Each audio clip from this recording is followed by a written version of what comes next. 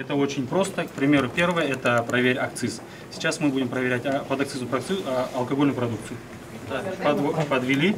Уже мы видим а, результат, что код присутствует в базе акцизных марок КГД, Асанали 05, то есть соответствует марке и тому литражу, который указан. То есть это не подделка, это не дубликат, это легальный продукт. Примеру... В ходе посещения таможни депутаты познакомились с одним из важных элементов учета экспортно-импортных операций системой электронная счет-фактура, которая снижает возможности для недобросовестных участников внешнеэкономической деятельности уклоняться от уплаты налогов. К слову, систему разработали казахстанские айтишники. Э, после того, как заполняется э, счет-фактура, присваивается уникальный номер. Для этого это, это же счет фактуры. Вот 235 номер, уникальный номер, потом регистрационный номер присваивается. Все разделы, здесь 5 разделов, общий раздел, реквизиты покупателя, поставщика, получателя, условия поставки, данные по товарам. Все здесь заносится, и мы это...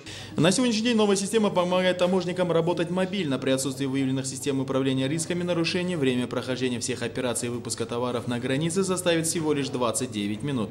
Такие нововведения направлены в первую очередь на защиту бизнеса путем снижения административного присутствия.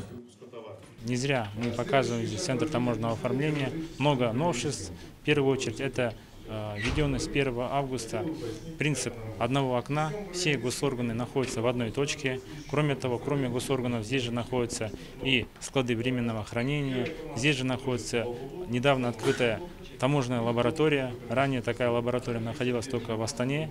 И для экспертизы необходимо было направлять товар. И оно, может быть, месяцами ходило бы между э, Чемкентом и Астаной. После знакомства с документацией народным избранникам кинологи таможни продемонстрировали навыки работы служебных собак по обнаружению валюты, взрывчатых и наркотических веществ. Есть еще пассивный метод обозначения. То есть собака должна